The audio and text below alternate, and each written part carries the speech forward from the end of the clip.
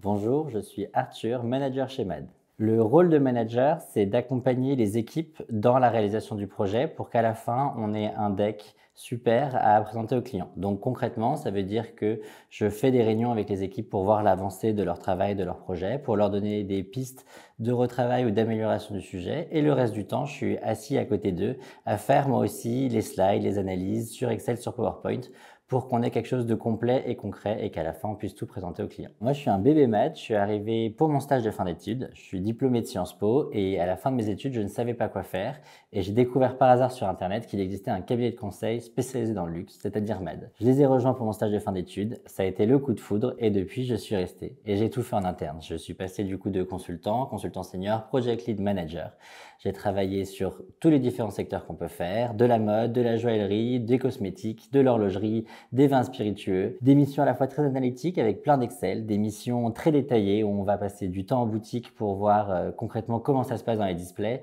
et des missions très créatives comme des signatures expérientielles ou des grandes plateformes. Au final, le grand avantage, c'est qu'on touche plein de sujets différents, plein de métiers différents de tous les domaines du luxe et c'est pour ça que c'est assez cool de passer du temps chez Med.